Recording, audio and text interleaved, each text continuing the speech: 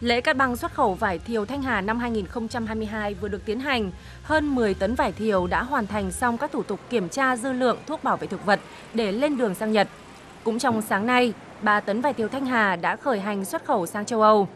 Hiện diện tích vải toàn tỉnh Hải Dương giữ ổn định gần 9.000 ha với tổng sản lượng 60.000 tấn. Số vùng sản xuất vải Việt Gap, Global Gap của địa phương là hơn 50 vùng, đều được chứng nhận đạt chuẩn xuất khẩu sang những thị trường khó tính –